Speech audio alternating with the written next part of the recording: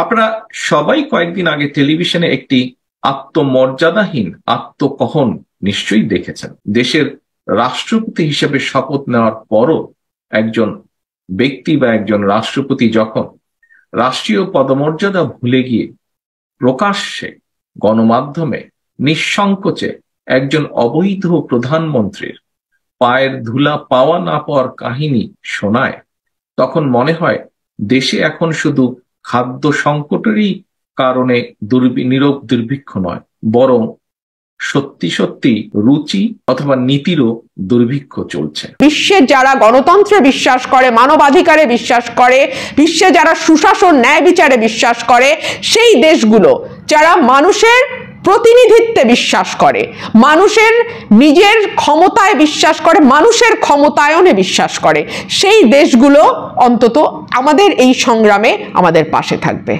আমাদের হয়ে তাদের সংগ্রাম করে দেবার দরকার নেই। কিন্তু অন্তত তাদের সমর্থনটা যেন আমাদের সঙ্গে থাকে। আসসালামু আলাইকুম রহমতুল্লাহ অবরাকাতুহ দেশ বা দেশের বাহিরে যে যেখান থেকে ভিডিওটা দেখছেন, তাদের সবাইকে জানাচ্ছি আন্তরিক শুভেচ্ছা এবং অভিনন্দন। প্রিয় দর্শক, আপনাদের সকলকে অনুরোধ করব, দয়া করে পুরো ভিডিওটা সম্পূর্ণ দেখবেন। খুবই গুরুত্বপূর্ণ একটা ভিডিও নিয়ে আপনাদের সামনে হাজির হয়েছে। প্রিয় দর্শক, শ্রোতা মণ্ডলী যুক্তরাষ্ট্রে আমেরিকার কাছে লবিং করে শেষ রক্ষা হবে না বলে এমন মন্তব্য করেছে বিএনপির ভারপ্রাপ্ত চেয়ারপারসন তারেক রহমান। তার এই করা হুঁশিয়ারি নিয়ে সামাজিক যোগাযোগ মাধ্যমে চলছে ব্যাপক পরিমাণে আলোচনা সমালোচনা। আওয়ামী লীগ, বিএনপির মধ্যে একটা টান টান উত্তেজনা পরিস্থিতি বিরাজ করেছে। মাননীয় প্রধানমন্ত্রীর যুক্তরাষ্ট্র লন্ডন সফর নিয়ে বিএনপি আওয়ামী লীগের মধ্যে একটা সংঘর্ষ বা ধাওয়া পাল্টা ধাওয়া শুরু হয়ে গেছে ইতিমধ্যে। আপনারা সকলেই জানতে পেরেছেন বিষয়টি অবগত আছেন। বিএনপি একটা যুক্তরাষ্ট্রের শক্ত অবস্থানে রয়েছে বলে মন্তব্য বিএনপির ভারপ্রাপ্ত চেয়ারপারসন তারেক রহমান। তারেক রহমানের দাবি যে আগামী নির্বাচনে বিএনপি ক্ষমতায় আসবে মাস্ট বি বিএনপি ছাড়া অন্য কোনো দল ক্ষমতায় আসতে পারবে না। তারেক রহমান এত কনফিডেন্স কোথায় পেল? কীভাবে এতটা শিওর হলো? নিশ্চয়তার সঙ্গে সে বলছে যে বিএনপি ক্ষমতায় আসবে, আগামী নির্বাচনে আওয়ামী লীগ কোনোভাবে ক্ষমতায় আসতে পারবে না। চলুন তার মুখ থেকে শুনে আসা যাক, তারপরে বিস্তারিত আলোচনা করি। দেশ আজ এমন এক কঠিন সময় উপনীত হয়েছে। রাষ্ট্র ও সমাজের সর্বক্ষেত্রে এখন পাহাড় সম বৈষম্য ন্যায় বিচার দূরের কথা। এখন বিচারের নামে চলছে অবিচার। মানবিক মর্যাদা হারিয়ে, আত্মমর্যাদা হারিয়ে এখন যেন চারিদিকে লোভী আর দুর্নীতিবাজদের বিকৃত উল্লাস। আপনারা সবাই কয়েকদিন আগে টেলিভিশনে একটি আত্মমর্যাদাহীন আত্মকহন নিশ্চয়ই দেখেছেন।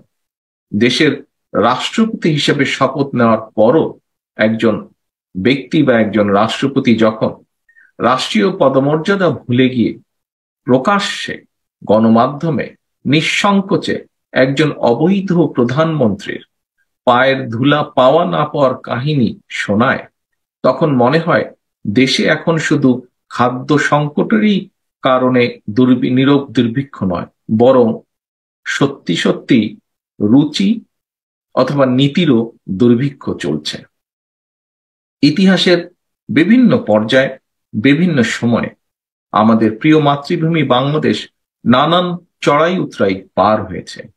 তবে দেশ এবং দেশের জনগণ অতীতে আর কখনোই মনে হয় এতটা অসহায় আর আত্মমর্যাদাহীন অবস্থায় উপনীত হয়নি। একজন আত্মমর্যাদাহীন ক্ষমতালোভী ব্যক্তির অবৈধ ক্ষমতার লিপসা মেটাতে প্রকাশ্যে অন্য দেশের করুণা ভিক্ষা চাওয়া একটি স্বাধীন দেশ এবং দেশের জনগণের জন্য কতটা অপমানজনক। নাগরিক হিসেবে এটি যদি আমরা এখনও উপলব্ধি করতে না পারি, তাহলে শুধু অপমানই নয়, ভবিষ্যতে হয়তো পদে পদে আরও অপদস্থ হবার সম্ভাবনা রয়েছে।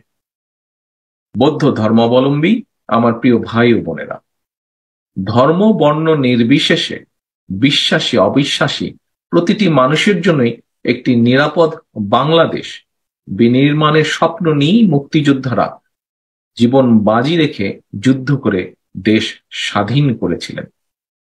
তলাবিহীন ঝুড়ির বদনাম ঘুচিয়ে সেই স্বাধীন বাংলাদেশ স্বাধীনতার ঘোষকের নেতৃত্বেই একদিন সারা বিশ্বে একটি উন্নত ও সমৃদ্ধ দেশ হিসাবে প্রতিষ্ঠিত হয়েছিল। ঠিক একইভাবে মাদার অব ডেমোক্রেসি খালেদা জিয়ার নেতৃত্বে বাংলাদেশ হয়ে উঠেছিল এশিয়ার এমার্জিং টাইগার তবে দুঃখজনকভাবে বলতে হয়, সেই বাংলাদেশ এখন লুটারেদের কবলে। গত এক দশকে দেশ থেকে দশ লক্ষ কোটি টাকারও বেশি পাচার করে দেওয়া হয়েছে। বাচালতা, মিথ্যাচার আর দুর্নীতি এখন রাষ্ট্রীয় নীতিতে পরিণত হয়েছে মনে হচ্ছে। আদালত, নির্বাচন কমিশন, দুদুক, শিক্ষাঙ্গন সহ রাষ্ট্রের সকল প্রতিষ্ঠানকে অকার্যকর করে দিয়ে খোদ রাষ্ট্রটিকেই ভঙ্গুর রাষ্ট্রে পরিণত করা হয়েছে। প্রিয় উপস্থিতিবৃন্দ, নিশিরাতের এই মাফিয়া সরকারকে মনে হয় না আর সময় দেওয়া উচিত। অবৈধ শেখ হাসিনার তৈরি বর্বর বন্দিখানা আয়না ঘর গুড়িয়ে দিয়ে মাফিয়ার কবল থেকে দেশকে মুক্ত করার এখনই সময়। দেশ বিদেশের সকল গণতান্ত্রিকামী মানুষ এখন বাংলাদেশে গণতন্ত্র এবং মানবাধিকারের সমুন্নত দেখতে চায়। পরিস্থিতি টের পেয়ে মাফিয়া সরকার দেশে বিদেশে এখন বাংলাদেশের স্বার্থ বিরোধী তৎপরতায় লিপ্ত হয়েছে। গণতান্ত্রিকামী জনগণের ঐক্য বিনষ্ট করতে শেখ হাসিনার মাফিয়া চক্র জনমনে বিভিন্ন রকম বিভ্রান্ত ছড়ানোর জন্য নানা রকমের মিথ্যাচার, অপপ্রচারে লিপ্ত হয়েছে। আমি আওয়ামী জাহালিয়াতের মিথ্যাচার ও অপপ্রচারে বিভ্রান্ত না হওয়ার জন্য গণতান্ত্রিক আমি জনগণের প্রতি আন্তরিক আহ্বান জানাই।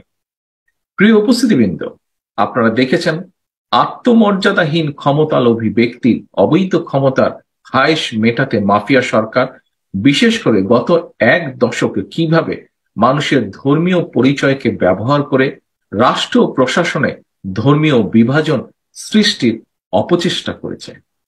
দেশে বিভিন্ন ধর্মীয় সম্প্রদায়ের বিভিন্ন ধর্মীয় উপাসনালয় বাড়িঘরে অসংখ্য হামলার ঘটনা ঘটিয়েছে, কিন্তু তার একটি হামলার ঘটনারও বিচার করেনি। আপনাদের অবশ্যই সকলের মনে আছে দু হাজার বারো সালে চট্টগ্রামের রামুবদ্ধ বিহারে হামলা, লুটপাট, ভাঙচুর চালানো হয়েছে। হামলার পর এক দশক পেরিয়ে গিয়েছে, কিন্তু এখনও কোনো বিচার হয়নি। কেন হয়নি? আপনারাও জানেন, সমগ্র দেশবাসী জানেন। তবে, প্রিয় উপস্থিতিবৃন্দ, আজকে আমি আপনাদের আশ্বস্ত করতে চাই এবং বলতে চাই, সেদিন বেশি দূরে নয়, অচিরেই দেশের জনগণের রায়, জনগণের সরকার ইনশাল্লাহ এই দেশে প্রতিষ্ঠিত হবে। সেই সরকার রামু, সেই সরকার রামু বৌদ্ধ বিহারে হামলার বিচার অবশ্যই করবে এবং যারা এই বিচার নিয়ে এবং যারা এই বিচার নিয়ে তালবাহানা করেছে, তাদেরকেও বিচারের আওতায় আনা হবে। প্রিয় উপস্থিতিবৃন্দ প্রিয় উপস্থিতিবৃন্দ, স্বাধীনতা পরবর্তী বাংলাদেশ কিংবা বর্তমানে, বর্তমান বাংলাদেশে দেখা গেছে নিজেদের ব্যর্থতা আড়াল করতে এই আওয়ামী লীগ নামক দলটি সবসময় কখনো মদিনার সনদে দেশ চালানোর কথা বলে, মোনাফিকের আশ্রয় নিয়েছে, কখনো ধর্মের নামে, কখনো ধর্ম নিরপেক্ষতার নামে রাষ্ট্র ও সমাজে হিংসা, বিদ্বেষ, হানাহানি জিয়ে রাখার অপচেষ্টা চালিয়েছে। প্রিয় উপস্থিতিবৃন্দ, বিএনপি বিভিন্ন মেয়াদে জনগণের রায় কয়েকবার রাষ্ট্র পরিচালনার সুযোগ পেয়েছে। বিএনপি রাষ্ট্র পরিচালনায় থাকুক অথবা বিরোধী দলে থাকুক বিএনপি কখনোই ধর্ম নিয়ে রাজনীতি করতে চায় না। বিএনপি কখনোই ধর্মকে রাজনৈতিক স্বার্থেও ব্যবহার করতে চায় না, করে না। বিএনপি বিশ্বাস করে, ধর্ম যার যার, রাষ্ট্র সবার। বিএনপি বিশ্বাস করে, ধর্ম যার যার নিরাপত্তা পাবার অধিকার সবার। বর্তমানে মাফিয়া সরকারের বেপরোয়া সন্ত্রাস ও লুণ্ঠনে বিপন্ন রাষ্ট্র মেরামতে সাতাইশ দফাতেও বিএনপি এই নীতির কথা স্পষ্টভাবে উল্লেখ করেছে। একটি রাষ্ট্রে ধর্ম, বর্ণ নির্বিশেষে বাঙালি, অবাঙালি, বিশ্বাসী, অবিশ্বাসী সবাই সকল ক্ষেত্রে সমান অধিকার ভোগ করবে, এটিই বিএনপির নীতি এটিই বিএনপির রাজনীতি। রাষ্ট্রের প্রতিটি নাগরিককে একই সুতোয় আবদ্ধ করতে স্বাধীনতার ঘোষকের দল, বিএনপির যুগান্তকারী রাজনৈতিক দর্শন, বাংলাদেশি জাতীয়তাবাদ। সুতরাং এই বাংলাদেশে যিনি যে ধর্মেরই হোক না কেন, আপনারা কেউ নিজেকে দয়া করে সংখ্যালঘু ভাববেন না। ভাবার কোনোই প্রয়োজন নেই। মুক্তিযুদ্ধের সময় কে মুসলমান, কে হিন্দু, কে বৌদ্ধ, এটি কিন্তু কারও জিজ্ঞাসা ছিল না। সুতরাং দল, মত, ধর্ম, বর্ণ, বিশ্বাসী, অবিশ্বাসী কিংবা সংশয়বাদী বাংলাদেশের প্রতিটি নাগরিকের একটি পরিচয়, আমরা বাংলাদেশি। সুতরাং বাংলাদেশের পক্ষের শক্তি, গণতন্ত্রের পক্ষের শক্তি, প্রতিটি নাগরিকের প্রতি আমার উদাত্ত আহ্বান, আর অপেক্ষার সময় নেই। পরাধীনতার শৃঙ্খল ভেঙে ফেলতে হবে। লুণ্ঠিত ভোটের অধিকার ভোট ডাকাতদের কাছ থেকে ছিনিয়ে আনতে হবে। ঐক্যবদ্ধভাবে এবার রাজপথ দখলের প্রস্তুতি নিন। বাংলাদেশ যাবে কোন পথে? ফয়সালা হবে রাজপথে। দাবি না হওয়া আদায় না হওয়া পর্যন্ত। দাবি আদায় না হওয়া পর্যন্ত ইনশাল্লাহ আমরা ঘরে ফিরব না। বাংলাদেশের নির্বাচন নিয়ে যুক্তরাষ্ট্র দীর্ঘদিন ধরে কথা বলেছে। বাংলাদেশে একটি অবাধ সুষ্ঠু নির্বাচন তারা চায়, বাংলাদেশে একটি অংশগ্রহণমূলক নির্বাচন তারা চায়, বাংলাদেশের নির্বাচনে যাতে মানুষের ইচ্ছার প্রতিফলন হয়, সেটা তারা চায়। এই ধরনের বক্তব্য যুক্তরাষ্ট্র দীর্ঘদিন ধরে দিয়ে এসছে এবং এই ধরনের বক্তব্য একসময় সরকারি দলের নানান রকম বিরক্তি আমরা লক্ষ্য করেছি। পররাষ্ট্রমন্ত্রী স্বয়ং বলেছেন যে বিদেশিদের যদি প্রশ্ন করা না হতো তাহলে তারা বসে বসে হুক্কা খেত। তাদের কোনো কাজই থাকতো না বাংলাদেশে। এমনও বলেছেন যে আমরা সকাল বিকাল বিদেশিদের কাছে যাই এবং তাদেরকে দিয়ে বক বক করাই, তাদেরকে প্রশ্ন করি এবং বাধ্য করি নির্বাচন নিয়ে বক বক করতে। তো এরকম নানান রকম বিরূপ মন্তব্য সরকারের তরফ থেকে এসছে, কিন্তু যুক্তরাষ্ট্রের যে অবস্থান সেটা শুরু থেকে অত্যন্ত পরিষ্কার এবং স্পষ্ট ছিল। সেটি হচ্ছে বাংলাদেশে একটি ভালো নির্বাচন হোক, বাংলাদেশের মানুষ যেই নির্বাচনে ভোট দিতে পারে। তো এর মাঝখানে আমরা একটা খবর দেখলাম, যেখানে দেখা গেল যে যুক্তরাষ্ট্রের যুক্তরাষ্ট্র আসন্ন নির্বাচন নিয়ে তারা বলছে যে তারা কোনো মন্তব্য করতে চায় না। কারণ তারা এই নির্বাচনকে আভ্যন্তরীণ ঘরোয়া নির্বাচন হিসেবে দেখতে চায়। এই কথাটি মার্কিন পররাষ্ট্র দপ্তরের উপপ্রধান মুখপাত্র বেদান্ত প্যাটেল তিনি বলেছেন। তিনি বলেছেন যে আভ্যন্তরীণ ও ঘরোয়া নির্বাচন হওয়ায় এর বাইরে আমার আর কিছু বলবার নাই। তাকে যখন প্রশ্ন করা হয়েছে বাংলাদেশের নেক্সট ইলেকশন নিয়ে, তখন তিনি বলেছেন যে এটি আভ্যন্তরীণ এবং ঘরোয়া নির্বাচন হওয়ায় এটি নিয়ে তিনি বেশি কিছু বলতে চান না। বাংলাদেশে অন্য একটি দল জাতীয় নির্বাচনে অংশ নিতে অস্বীকৃতি জানায় এবং পরে এটিকে অন্যায্য ও অন্যায় নির্বাচন বলে দাবি করতে পারে, এমন পরিস্থিতি যুক্তরাষ্ট্র কীভাবে মোকাবেলা করবে সেটা যখন তার কাছে জানতে চাওয়া হয় তখন তিনি এইটা এই কথাটি বলেন যেটি আভ্যন্তরীণ বিষয়।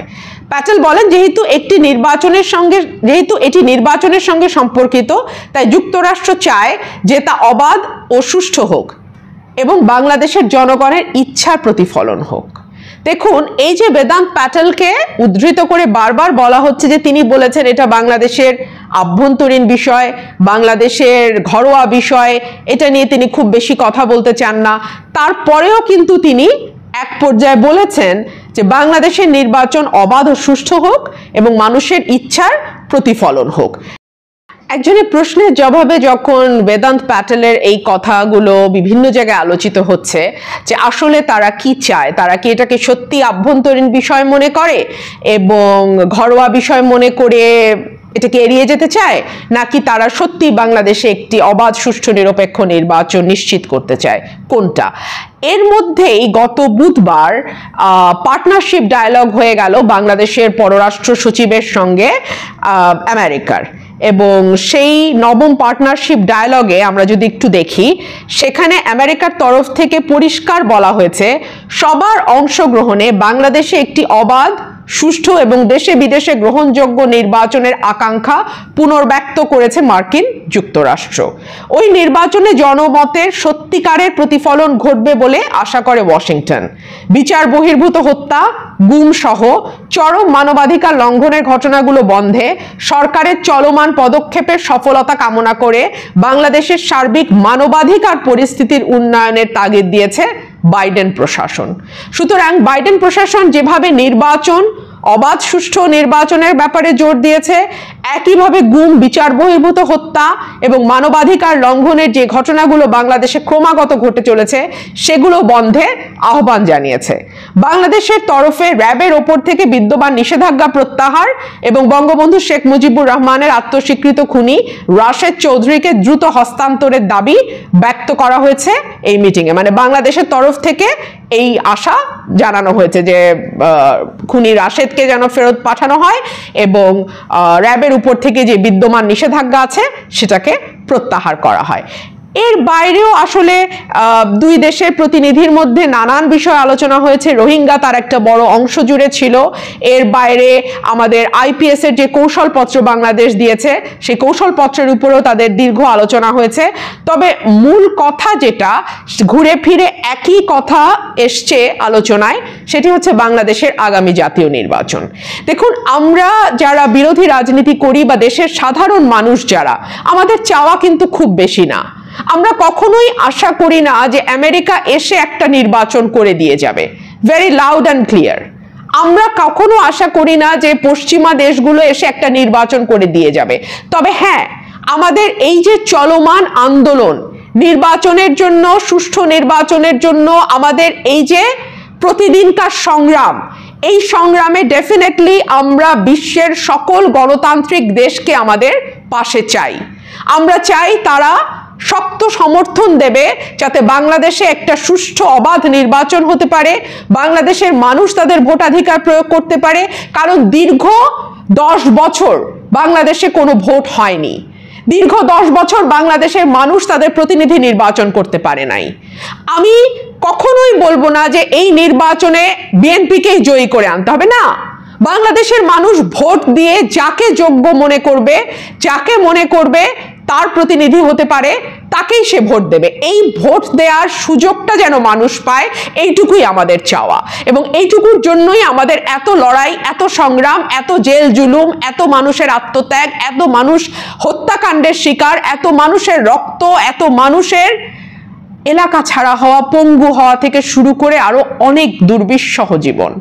শুধুমাত্র এটুকু চাওয়ার জন্য। সুতরাং এই চাওয়াটার আমরা চাইব যে বিশ্বের যারা গণতন্ত্রে বিশ্বাস করে, মানবাধিকারে বিশ্বাস করে, বিশ্বে যারা সুশাসন, ন্যায় বিচারে বিশ্বাস করে, সেই দেশগুলো যারা মানুষের প্রতিনিধিত্বে বিশ্বাস করে, মানুষের নিজের ক্ষমতায় বিশ্বাস করে, মানুষের ক্ষমতায়নে বিশ্বাস করে, সেই দেশগুলো অন্তত আমাদের এই সংগ্রামে আমাদের পাশে থাকবে।